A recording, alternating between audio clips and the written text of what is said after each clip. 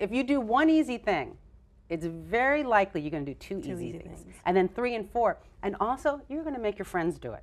And you're going to make your family do it. And you're going to start educating them. And all of a sudden, we're all activists. We're all, and we all have to be activists. We all have to become global warming activists. That has to be one of our titles. That has to be what we consider ourselves. And we can all do it. So here are some really simple things. And it starts with a light bulb, okay? And this is amazing. We're still using a light bulb that was invented 128 years ago. Like that makes no sense. Like Right. surely, you know, we can do better than that. And we can, and they have, and they've come up with a more energy efficient bulb. It's a CFL, and it's 75% more energy efficient.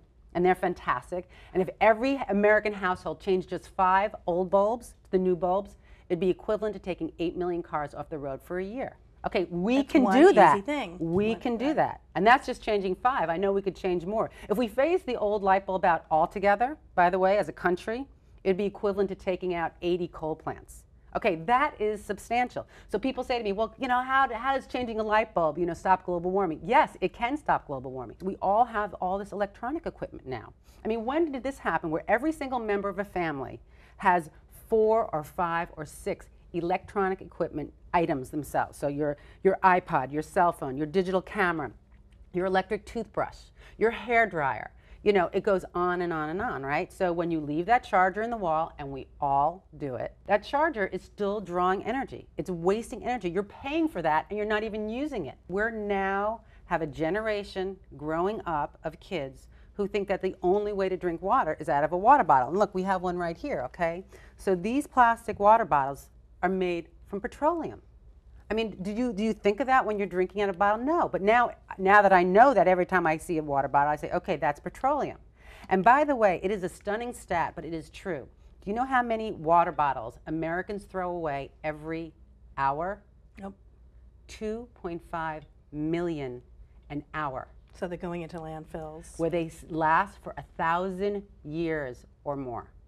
And they're made from petroleum. So this is crazy. So you've got disposable paper napkins, something we use for a second and toss out, paper towels, tissues, toilet paper, all, all these things that we don't think about, right? Well, when you buy them at the store and you buy items made from virgin paper, which are, you know, 100 year old trees that are busy absorbing CO2 while they're standing and don't absorb it when they're cut, that the paper towels that I'm using is cut from a virgin tree. Like, should I be doing that? Should that should it be legislated that no mm-hmm. more disposable paper products be made from virgin trees? And by the way, if I make a choice in the supermarket to buy post-consumer recycled paper towels, another crummy name, but that's what they're called, mm-hmm. right? If I make that choice, millions of trees are going to stay standing in the ground. Like, is that a sacrifice? Is that, can I live with that? Every time someone goes shopping, in every store, you take a plastic bag. We all do it. Is it a sacrifice to start carrying a canvas bag? Like, is that a sacrifice? I mean, plastic bags are made from petroleum. We throw a gazillion of them away every year. It's crazy. We don't need to be doing that. We can live a great life and change some of these things and slow global warming down and protect all the things that we care about.